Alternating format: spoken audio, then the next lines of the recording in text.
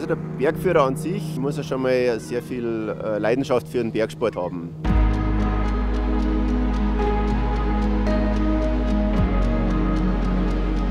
Mein Name ist Helmut Weidel.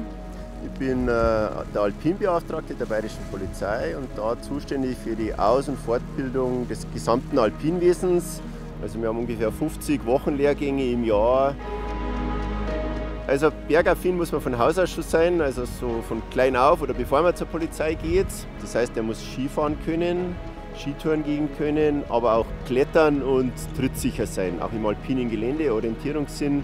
Also ein paar Sachen muss er schon mitbringen, weil in der Ausbildung wird das vorausgesetzt. Wir haben jetzt zurzeit knapp über 50, die schwankt mit Zu- und Abgänge. Aktuell sind da sechs weitere in der Ausbildung, die werden nächstes Jahr fertig.